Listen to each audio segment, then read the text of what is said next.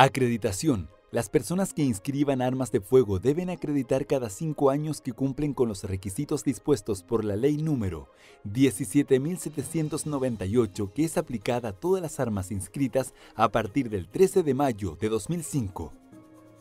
Este trámite deberá realizarse ante la Autoridad Fiscalizadora de Carabineros de Chile, correspondiente al domicilio en que se encuentre inscrita el arma en ese momento.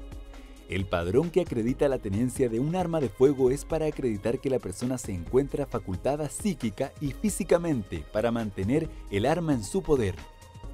Para llevar a cabo lo anterior se debe responder un cuestionario de preguntas por escrito que debe ser aprobado con un mínimo de 75% de respuestas correctas y que será revisado al instante y en presencia del interesado presentar un certificado psiquiátrico y un certificado de antecedentes para fines especiales. El nuevo padrón de acreditación estará vigente por cinco años, aun cuando el arma ya no se encuentre en poder de la persona. Conoce la ley número 17798. Más información en www.dgmn.cl. Manipular un arma no es un juego,